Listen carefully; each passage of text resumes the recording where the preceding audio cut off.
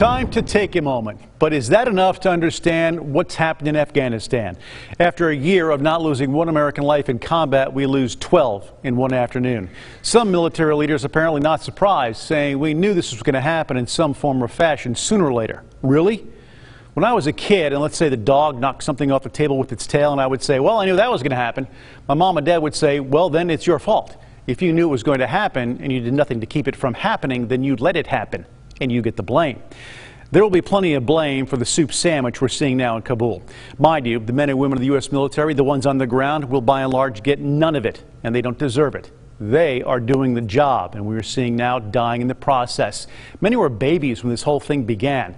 I don't know what the discussions were, but the U.S. generally doesn't cut and run. Yes, there is Vietnam, and boy, those who said this wouldn't be that were wrong. We left troops and bases in Germany after World War II just to keep an eye on things and to help out. They're still there.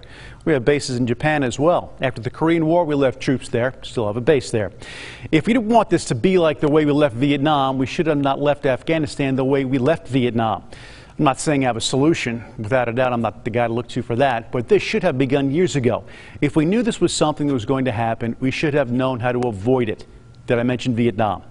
We learned at a very early age that the bully will always punch you in the back of the head on his way by because bullies are wimps.